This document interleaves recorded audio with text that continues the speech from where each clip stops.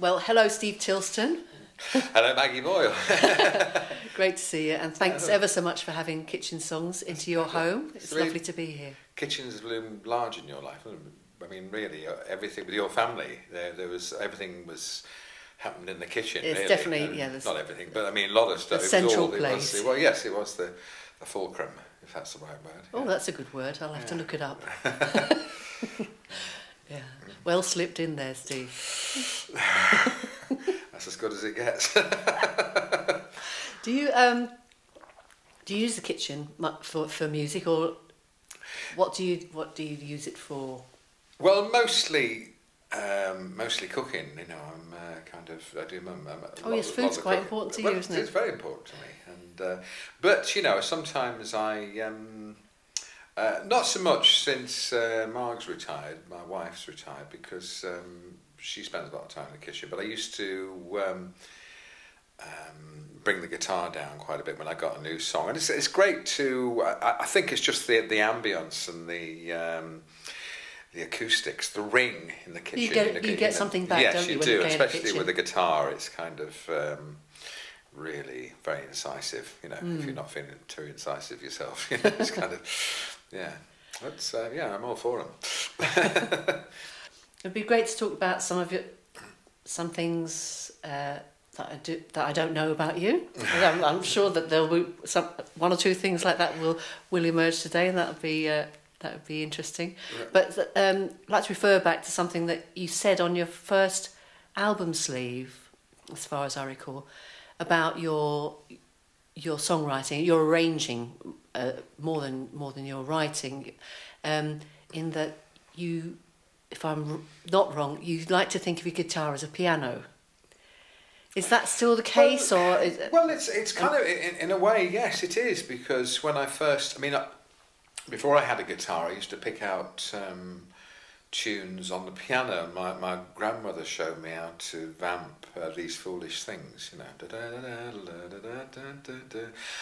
and um, so when I got a, got a guitar, I was always drawn to that uh, the the the fingerstyle way of doing it because um, you could have the independent uh, voicings and on the guitar, and um, obviously a lot of the that's where a lot of the folk guitar styles have come. I should imagine the ragtime has come mm. as hmm. much from piano music as, as guitar music. I mean, obviously when I first started, I was so into the guitar, and I was into all the you know. The, learning the rock and roll riffs, the Chuck Berry and the Buddy Holly and all that kind of stuff. I loved that because they were playing their own lead breaks, and I did have an electric guitar, and um, but it was always still. I think it was a revelation when um, you know hearing Scotty Moore as well, because you could hear he was he wasn't just. He, he was playing fingerstyle electric guitar, so I was always drawn to that. what's your very first musical memory?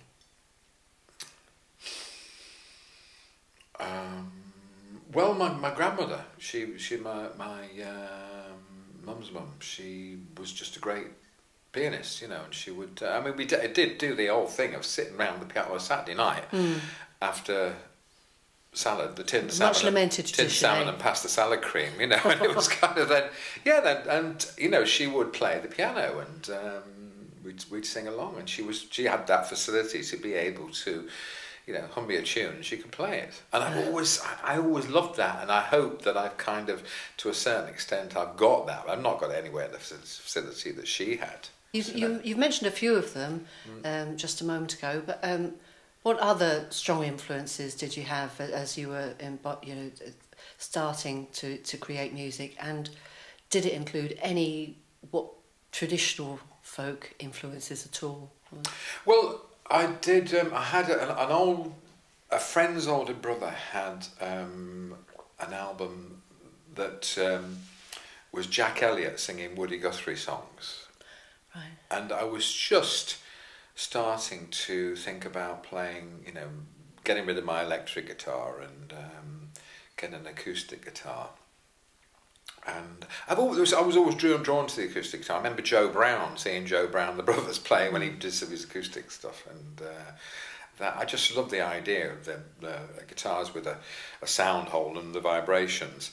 And so um, um, as regards traditional music, um, I wasn't exposed to a huge amount of it really. No, I mean it was kind of. Uh, um, Was it when you met you met folk clubs? Is that when? It, I when think I happened? think that's I think that's when it yeah when it happened. Yes. So it, basically, the folk revival in the '60s. That's when I um, got exposed to it, and I didn't particularly want to go to a folk club, but I was taken down there by, by a friend, an older friend, and uh, just exp- in fact, Hedy West was the first person when I went to a folk club, and I saw this wonderful Shoo, yeah, yeah, played the, the banjo, and I thought, this is just such beautiful music. So I went again, and I, I thought, where's that American girl with the banjo? Why is she not here? I thought she was coming every week.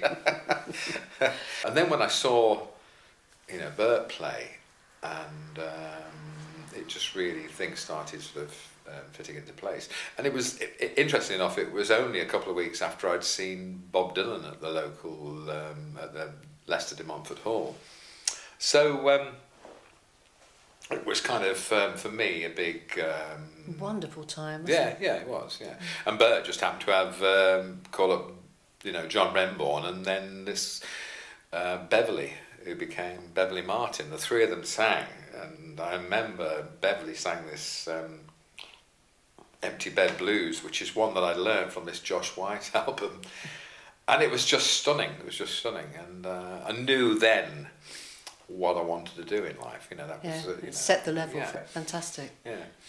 We talk a bit about um, your songwriting, which has gone through many different phases, hasn't it? Because you had the early sort of stripped down acoustic. Yeah, uh, yeah. And, I think it's coming style. f- uh, round full circle. Well, you have, you Yeah, have, yeah, but it, yeah. in, in between, you've had uh, you've had the much more commercial songwriting. In fact, Go on. a, a good friend of mine, Here who's not go. far from us, There we go. Here we go. has um, supplied us e- Oh. Exhibit A, in for a penny, in for a pound, which um, Steve made. Uh, it contains his single "Don't Look Down," which was with uh, Ralph Ravenscroft, as I recall. Did he play on it? Yeah, the bloke who did the. um, Playing sax. It, it was uh, yeah, all big stuff. When when I first met Steve, In for a penny, in for a pound. and Mike Silver's on it too. and you're on it as well, Josie. Uh, that yes, it was my, my very brief foray into singing with noisy stuff. It didn't work. so, Yeah. but, but you know, it was a very different style of song than, well, uh, the- yeah. or some of them were, than before and after. I you think? suppose it was kind of what what would be termed now adult orientated rock. First commercial record I heard that you did it just reminded me of it. White Horses. Oh God. You, I remember you playing me that single when we, on our second date or something. Oh wow. Oh wow. But- I'm surprised I didn't put the kibosh on it. I remember thinking that wasn't very commercial. It was a bit twee, wasn't it? It was a bit twee, yeah. Because uh, what? this is a funny thing. One um, Who was the singer? Belinda. um, Belinda Sinclair. She was in some sitcom, wasn't she? Yeah.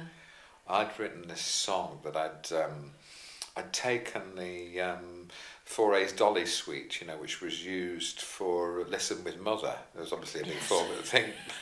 La da da dee da da da doodle doodle dee. Hmm. And um, so I wrote, I just nicked the melody and I wrote some words around that about white horses, you know, and all that kind of thing. And um, we did a, I forget who produced it now. And um, anyway, Belinda Sinclair sang on it, and Terry Wogan played it and played it to death. Actually said he wanted to make it hit, but um, people didn't. It still didn't work. still didn't work. That's right. Oh. Have you identified any um, characteristics or features in your songs that particularly appeal to people who sing traditional folk material? Well, obviously there are. It's it's it's kind of. Um, I think if you go out of your way to do to, to write a, a pastiche, then a lot of the time I think it's going to fall flat on your face. But um, um, because I think you know, getting back when you and I were um, operating together, you know, there was. Um, uh, how could I not? Uh, obviously, we met because I went to that traditional Irish club in um, in Fulham, um, taken there by Duck Baker, and um, it's it it's soaked through. You know, I mean, I love I love the stuff, but I wouldn't I never have pretended to be a, a traditional musician. You know, and um, but. Um, I've always I've always liked traditional music, and obviously ever since I, I, I first set foot in a folk club, I, I heard traditional songs. And you know. But you'd already been uh, nurtured, hadn't you, by Hamish Imlach? And I remember um, he'd Well, take you around, and, and then what the main traditional song I used to hear you sing in the early Bogus days was Bonny Bo- Bell. That's Bonny right. Bell, Which yeah, absolutely, yeah. Uh, funny enough, yeah. Hamish took me when I was because he used to when I used to live in Loughborough with a few friends, and he always used to come and stay with us when he was um, heading down that that way. And then um, one time he took me out. He came. He was coming out. I was living in London that time, and. Um, he said, "Do you fancy coming up north with me?" And he got a bunch of gigs actually around this area. I remember we went to Halifax, and uh, he was wanting to see. It was obviously it was it was Christy Moore because I remember we went to this windswept these um, high rise blocks just outside. Was it Halifax or Huddersfield? And uh, I remember him taking me up there, and I remember seeing all these people lying around. But I don't think Christy was there, but the place was full. Well, um, Steve Tilston, if you could change one thing about your career or your music, any, anything, what do you think it might be?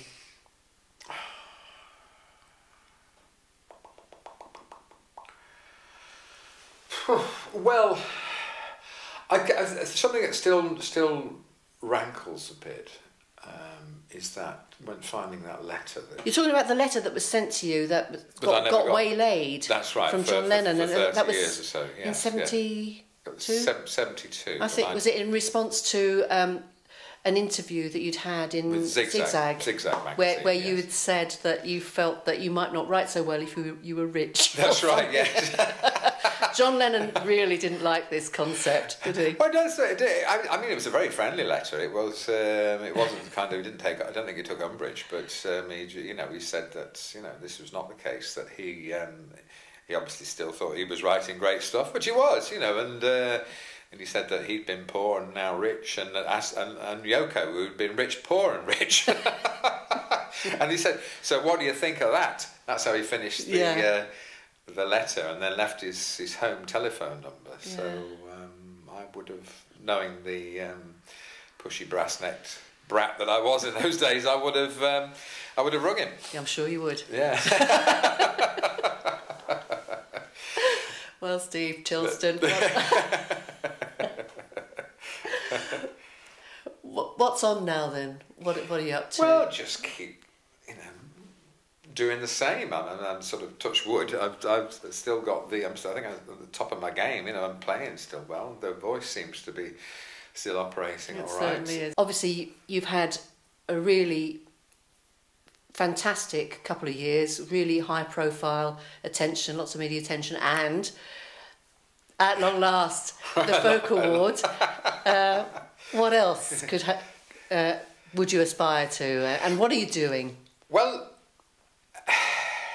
And how did you feel about the Folk Award anyway? Well, yeah, obviously, uh, uh, it, it, it's great. Yeah, it's, it's you know it's, it's, it's fantastic, and it, and and it has um, um, a, a few things that have, have, have fallen into place because of it. You know, and um, so I'd be churlish to say that I wasn't um, pleased to have it. Um, what am I going to be doing in the future? I mean, much the same. It's sort of just I I still. Uh, I love being love the fact that I'm getting away. You know, here am I in my early sixties, sort of uh, still being able to earn my living as a musician. Um, my chops are still good, you know, I'm still playing and singing as, as well as ever. And uh, like we saw, uh, the Chris, Chris Smither, he was, he was saying, said, you know, after 60, it's all gravy. and it's great, you know, it's a great way of putting it, you know, it's all gravy. So it's, it's, and it's a nice, a Gert dollop of gravy, as, as they say in Bristol. Yeah. a King Gert dollop of gravy. Well, I wish you a gallon of it and more. Oh, thanks, matey. That's, Thank you, Steve Lovely. Tilston, for having us in, and it's been great to talk to you and to Pleasure. and everything. thank you, thank you.